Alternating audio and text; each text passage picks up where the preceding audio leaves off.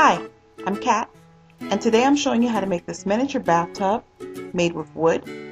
It's got a little bit of foil on it and a little bit of wire as well. It can be made to hold water, and I'll show you how. Hope you enjoy.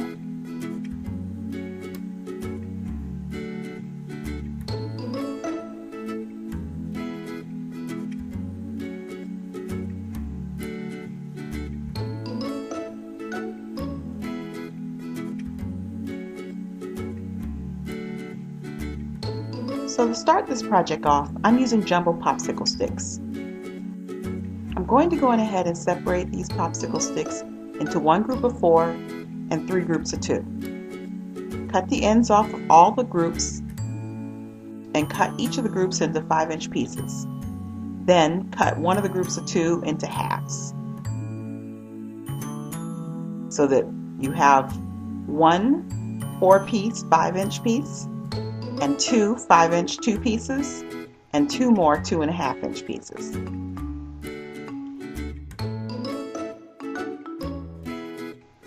You're going to use these to form a frame around the largest piece.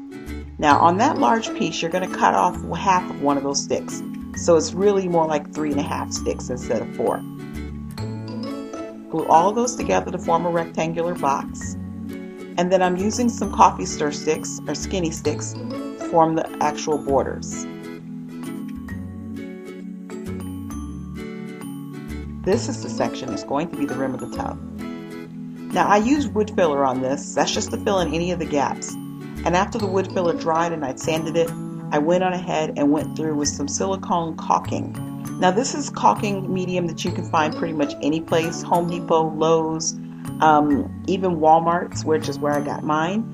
Um, and this one, it, this particular one dries into clear from white, but some of them you can purchase as, um, and they dry white, they dry ecru, they dry almond, whatever other, whatever other color you want.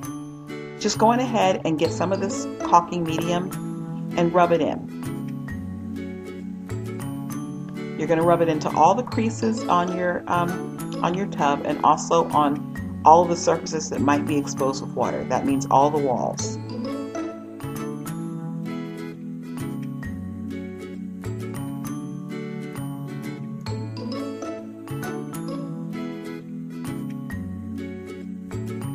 Now I'm also using some extra jumbo popsicle sticks and I'm spacing these about 3 inches apart. That's enough to fit the tub on the inside. But test yours out to make sure that it will fit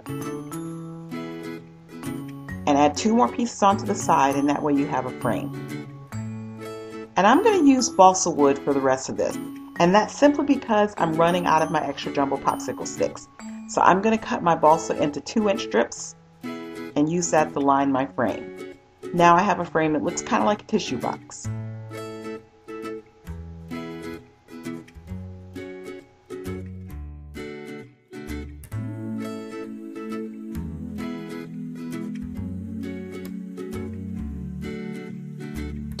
Once my caulking has dried, I'm going to go through with some outdoor paint. And I'm using the outdoor paint because even though it's not waterproof, it's water resistant. And I want to add as much um, material onto my tub that will keep the water from seeping through as possible. And that way I can keep water in it for an extended period of time. So now you have two choices. Once you've painted it, you can decide if you want to keep a matte finish and go with some more silicone caulking or if you want, you can do as I did. And I'm going to use resin to do my final coating on this. Um, I do like resin. Anyone who watches my videos know I'm not afraid of resin at all.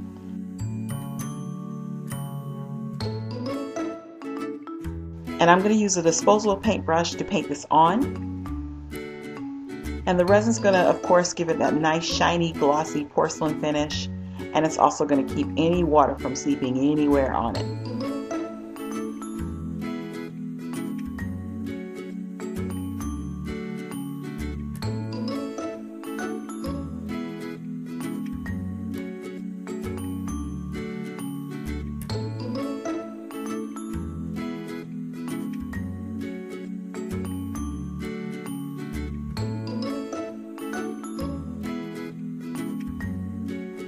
And while that resin is curing, I'm going to go ahead and use some of the regular coffee stir sticks. Now these are the super thin variety, and I just bought, I got several of these. Um, I just bought a box off of eBay that was like a thousand in the box for seven dollars. So um, I'm going to use these, and I used about 15 of each color, I think, to do the entire tub. So I painted mine in metallic colors, and just paint on one side is fine. And um, I went with white, aqua, ivory, turquoise, and beige. And then I just used some scissors to cut them off into varying lengths. Some of them are long, some of them are short, some of them are really short. And then I painted the background of my tub white and then proceeded to glue the tiles in place. Random for the most part, but just trying to avoid doing the same colors too many times in succession. Finally, I used a heavy gauge of wire and I cut this into um, two quarter inch pieces and one one and a half inch piece. And I curved the one and a half inch piece into a J shape. Then I used some aluminum from a pie pan or cake pan, one of the disposable ones.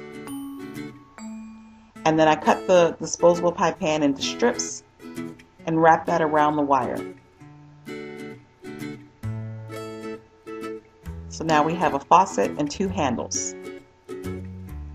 Now I'm using another coffee stir stick and I'm cutting that into three quarters of an inch and I glued the faucet and the handles on top of it and then I used two toothpicks and cut off the ends of them.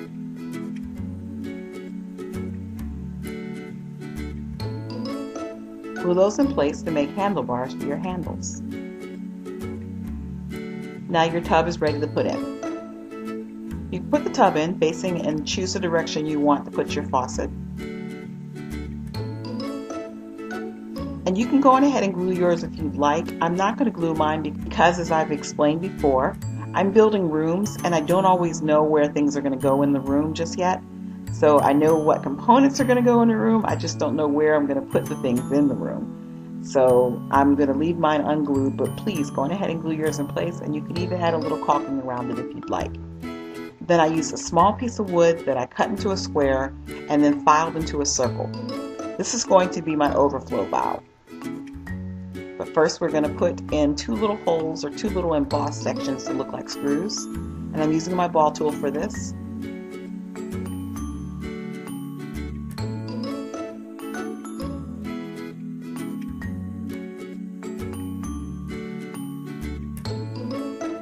Then I cut a teeny tiny little circle out of some of the remaining foil.